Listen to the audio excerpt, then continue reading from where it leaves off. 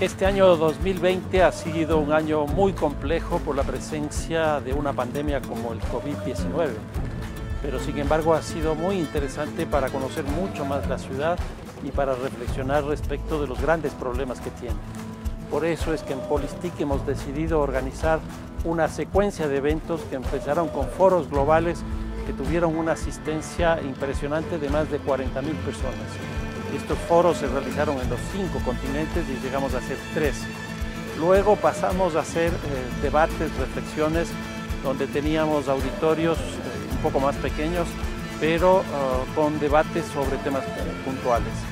Finalmente llegamos a hacer eh, seminarios sobre la base de conferencias y también sobre temas de ciudad. Este 2020 el Grupo Polistic hizo una alianza con Flaxo Ecuador, la Universidad Nacional de Córdoba, la Universidad Federal de Río de Janeiro y la UNAM de México para realizar el primer seminario Ciudades 2020, donde discutimos 15 ciudades con 29 expertos de hacia dónde ir. En cuanto a nuestro seminario temático hemos desarrollado tres. El primero sobre infraestructuras urbanas con temáticas como movilidad, plataformas virtuales y agua. El siguiente sobre producción social del hábitat con expertos como Enrique Ortiz. Y nuestro último seminario sobre mercado del suelo con tres grandes académicos, Samuel Jaramillo, Pedro Abramo y Pablo Trivelli.